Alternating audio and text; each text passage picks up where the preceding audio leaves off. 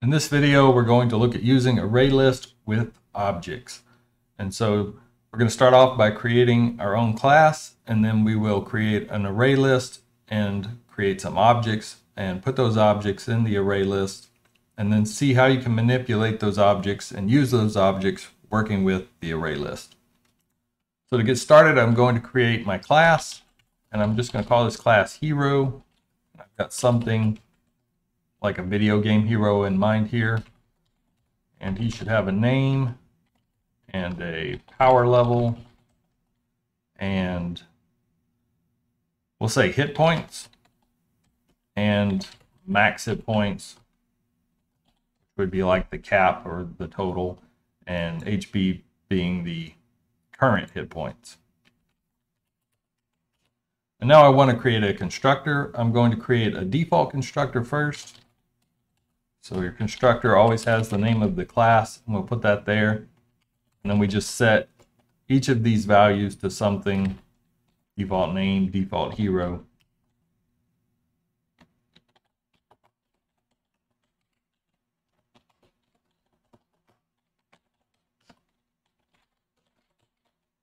And we'll set power level to something, I don't know, something completely arbitrary. And there's our default constructor. And now we'll overload that constructor and create a three argument constructor. So when we create our objects, we can pass in those variables and they will be set from the beginning. So we'll pass in the name, we'll pass in the power level, and we'll pass in the hit points. Inside the constructor, we can set those values using this. So this name equals name. And this power level equals power level. And max HP. And then we'll set HP equal to max HP. Just because we assume we start full. And there's our constructors. And the last thing I want to put in our class is a toString method. We're going to override the toString method that we inherit from object. So that's going to be an override annotation. And public string toString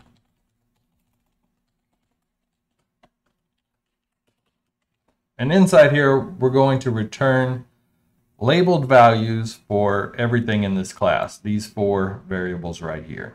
Return, we'll start with name. I put the label and then I add the value from the variable.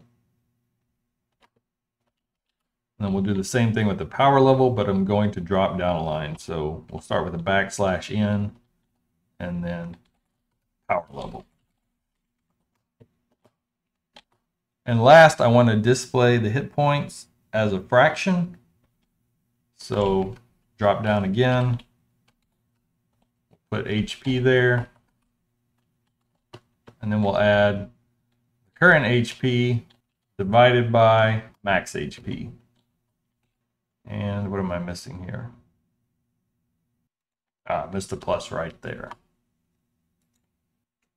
And that's it for our class. That gives us something to work with in our array list. To create the array list, we type array list and array list are containers. Inside the angle brackets, you want to put whatever this container is going to hold. Our container is going to hold hero objects, so put hero right there. And you can call it whatever you want. I'm going to call mine heroes equals new array list.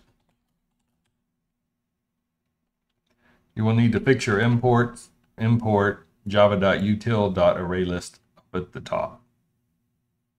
All right, I've got my array list, and now I need to create some heroes. I'm going to create a hero h1, and set that equal to new hero, and his name is going to be Fred, and his power level is going to be, I don't know, 300, whatever you want to put there, and hit points will start at 100.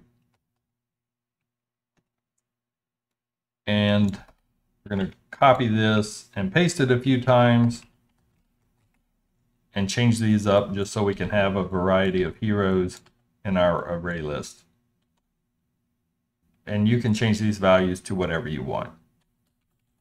We'll put Sally, Doug, Sue, and Bob.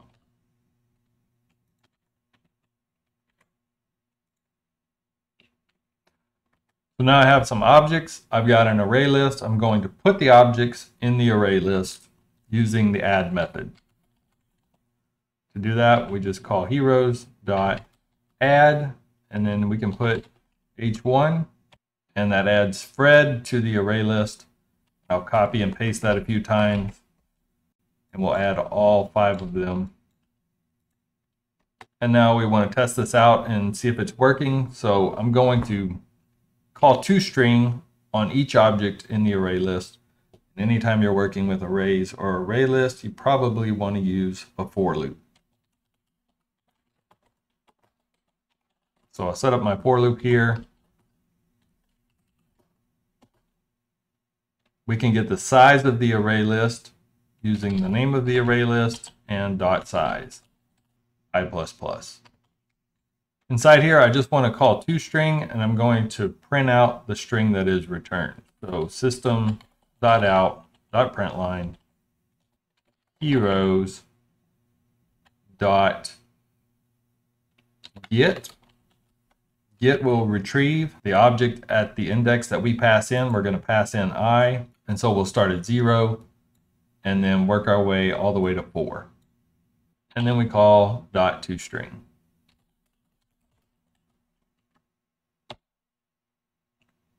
If we run that, we should see all of our heroes printed out here. I'm going to drop down a line for each hero just so I have some space in between them. It will be a little easier to read that way. Dot out, dot print line. And run it again. Here we go. We've got Fred, Sally, Doug, Sue, and Bob, and you can see their power levels and their hit points I need to put a space after power level, so I'll go up there and fix that in my toString method.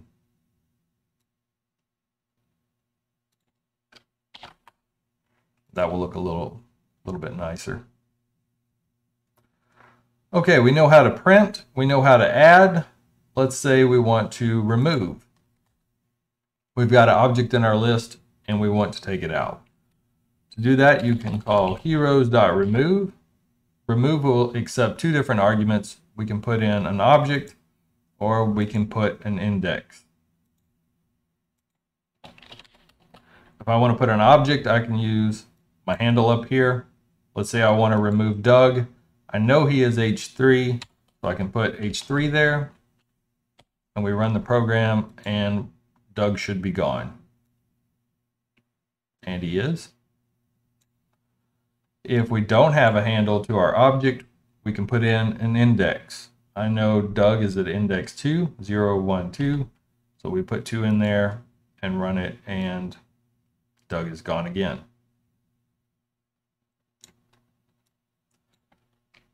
Now, let's say we want to remove a hero, but we don't know the index and we don't have a handle to the object.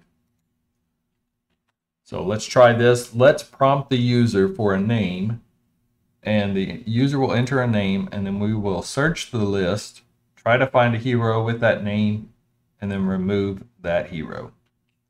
So for our prompt, we need a scanner.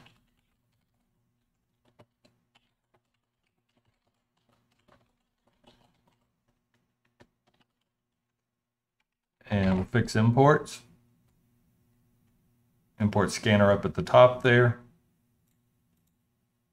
And I'll put our prompt. And here we'll just put enter name to be removed. We'll create a string for our input and set that equal to s dot next line.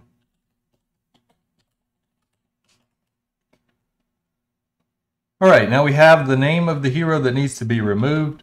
So to go through the list, we're going to use the for loop again.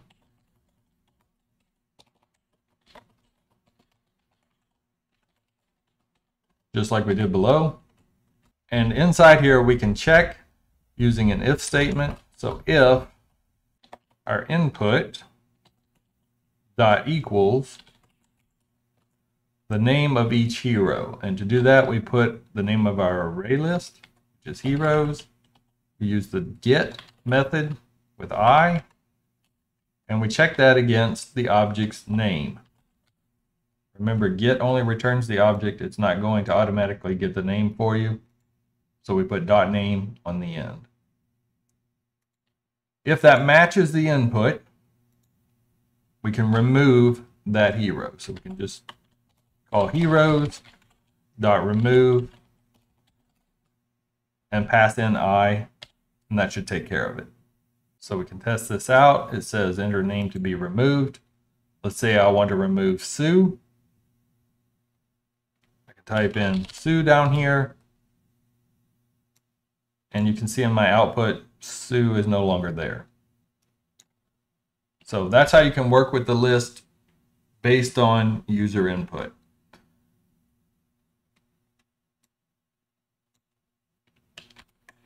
Let's take that out. There's one more thing you may want to do. You may want to modify the values of the objects while they're in the array list.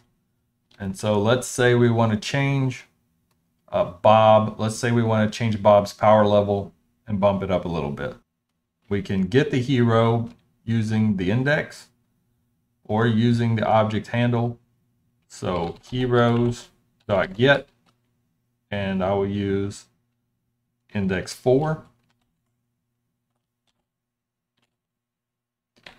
And then I said I wanted to change the power level, so use dot power level. And then you can set that to whatever you want, something completely arbitrary. And now we see that Bob's power level has changed.